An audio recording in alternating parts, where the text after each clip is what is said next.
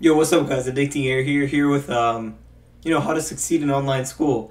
I've been realizing some people are actually getting lower grades in online school than they would in regular school, so I'm here to help some people out.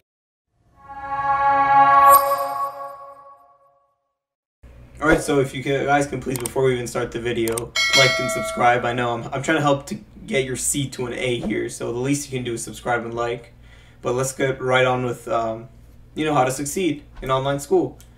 So first, talk to the teacher. So what my school has is there's a support period where before class you can or there's like a designated time like early in the morning where you can go to any teacher you want and ask for help. Now if you want to secure like your participation grade that a lot of English teachers have, um, what you want to do is just go in the class, either talk to them for the last 10 minutes about anything random, right? Their lives, because they're also experiencing the virus. So you should just go in there and just ask, hey, you know, how's your day going? Or even ask them a stupid question about the subject, right? Things thing that, you know, you think it might make you look stupid, but to the teacher it's someone that, you know, it looks like someone that actually cares about their schoolwork and they're interested in learning. So what I advise is to go ask a teacher a question or even after class, you know, ask ask something stupid, ask something that she already said. Anything could help, right? So if you do that, your teacher would, you know, recognize your name as long as you have your name in Zoom or in Google Meets, whatever you guys use. And that would help you to get the A because they just know your name. So whenever they're like grading for participation, they, they check you because they think, oh, this person talked to me one to one, right? Next tip, I know I'm kind of speeding through this, but there's like a virtual background. I'll try to edit it on the screen, but there's a virtual background filter where if you click next to your video and you can put a virtual background. Now, this is what something is something that can like make you um, stand out from everyone else, right? So you can put any picture, any picture you find on Google, you can put as your background. Now you can do that, and the teacher might recognize you and maybe calls you out on it. Say, "Hey, why is the why why is like the space behind you, right? Why is Earth behind you?"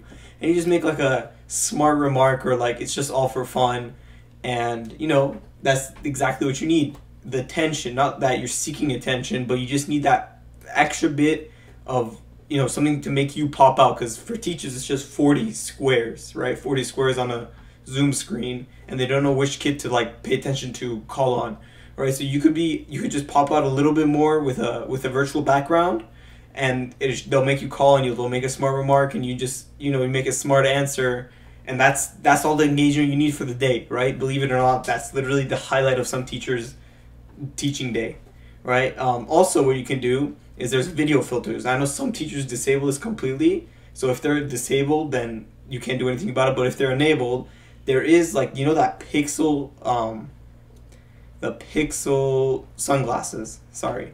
And if you put those on, right, it wherever your eyes are tracks your eyes. So wherever your eyes are, it'll put sunglasses on. Now this is perfect if you want to go on your phone, right? If you want to maybe during a test, but we'll get to that allegedly. You put these you put these glasses on and um, the teacher can't see which direction you're looking at, right? So you could be looking down, and as long as the, the computer camera sees your screen, it'll just lock onto your eyes, and then just creates creates the sunglasses. They won't know where you're looking. So that's perfect for just either standing out again, just like I said with the virtual background, or just getting away from work, right?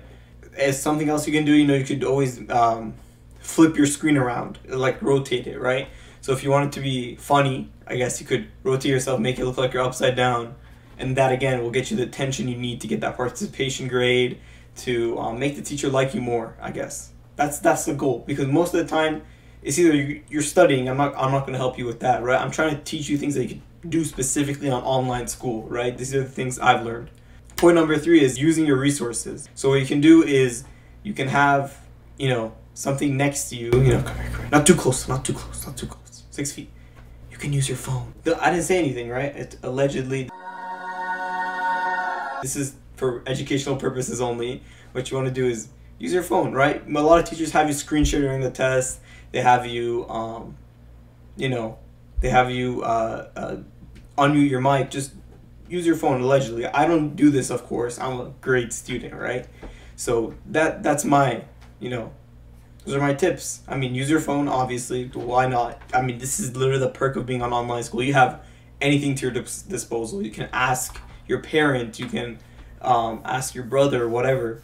There, there's so many ways that you could just get around this that I don't know how some people are getting lower grades than usual.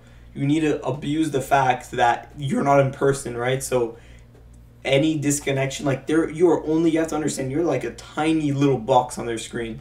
Like the chances of you getting caught as long as you're not talking or it's not obvious, like it doesn't pop up on their screen who's talking, then it is, then use it to your advantage. I should not see anyone getting lower grades than they did at school. Just doesn't make sense.